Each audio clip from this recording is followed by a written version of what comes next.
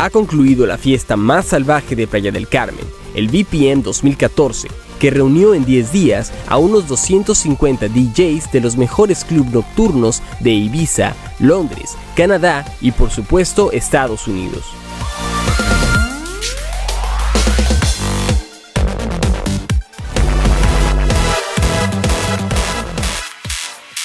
La fiesta comenzó el pasado 3 de enero y concluyó el 12 de este mes, y durante esos 9 días los beats no dejaron de sonar con el mejor ambiente que solo Playa del Carmen te puede ofrecer.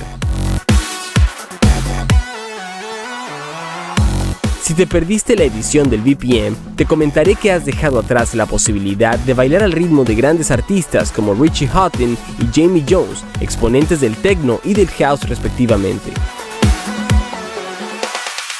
En la edición número 7 del BPM, las sorpresas continuas no dejaron de asombrar a los asistentes que como cada año se volcaron de alegría y júbilo.